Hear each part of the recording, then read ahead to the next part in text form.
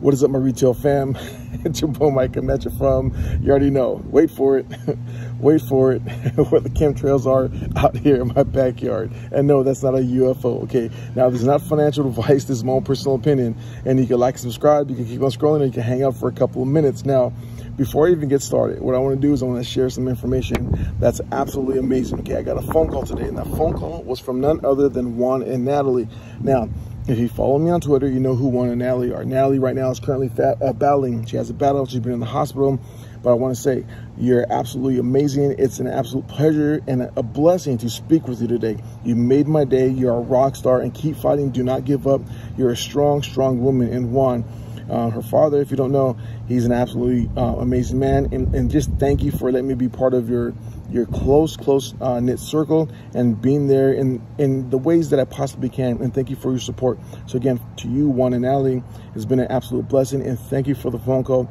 It was an absolute pleasure. You made my weekend. And just Natalie, you're an inspiration to all of us. Thank you, thank you, and thank you. Okay, now let me get to what I want to talk about. Now, I want to talk about the debt ceiling, okay? Now, this past Thursday, if you don't know, we hit the debt ceiling. Now, we have until about early June, somewhere in the summertime, but roughly about early June to actually make amends, which is pretty much raising the debt ceiling, okay? Now, failure to do so will drop into a full-blown recession. Now, I, I got to say this even though they're saying we're going to drop into a full-blown recession, we are already in a recession. We're in a deep recession. We are entrenched in the nasty one, okay? I don't care what they tell you on TV. I don't care what people are saying in the news that we're looking for a soft landing the, the, the fact of the matter is that it's not going to be soft landing. They're not going to tell you the truth. And the retail investor is always last to know. Now, there's, there's always somebody out there saying, well, what does this have to do with AMC? What does it have to do with the GameStop? What does it have to do with our short squeeze and all this other stuff? Okay, it has everything to do because if the market starts to push down, obviously things can become catastrophic and, you know, it, it comes up to liquidity issues. But there's people out there say if we have a market crash or a market meltdown,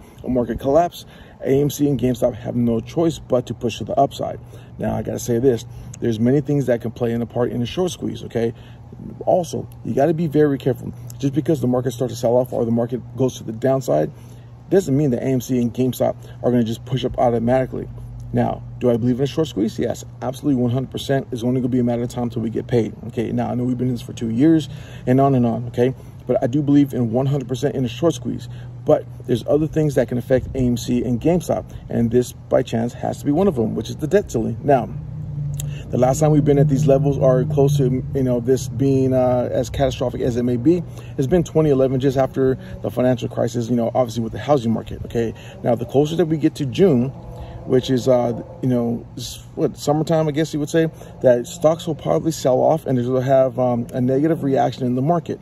Now, even though there's going to be a negative reaction, news, any news coming out with the debt ceiling is going to push stocks up, going to push stocks down until there's a solution. It's going to be very volatile. There's going to be a lot of instability in the market as well as flare-ups, okay? Now, one thing I do want to say this, if there is a default by chance, you're going to see something. It's not even going to be a recession. It's going to be like Great Depression uh, on a global scale. It's going to be really nasty. So this is something they want to prevent. And usually, at you know, at the 12th hour, the 23rd hour, what you want to call it, they end up coming up with a solution, and it's pretty much raising the debt ceiling. Okay. So again, my retail fam, I just want to give you a heads up. Even though the market, and for me, it's 2023, it's going to be much worse than 2022. We're in for a short squeeze when it comes to AMC and GameStop. You throw ape in there. That's fine whether you say yes or no for the conversion of the reverse stocks, but we're not talking about that. But 2023 is going to have a massive impact on all our lives and and more than likely it's going to be negative okay? Cash is king. The retail investors always lost to know and as well as the fact that i believe in the short squeeze nothing hasn't changed. But the, this, this does affect amc and gamestop okay? The market pushes down it will push down amc and gamestop and that's all i have to say. Now one last thing before i get out of here again shout out to you natalie but also japan Japan hit its 40 year high when it came to inflation or when it comes to inflation this past week. Very bad news. Okay. Have a great day. Enjoy the games. I shall see everybody very soon. Take it easy. Peace.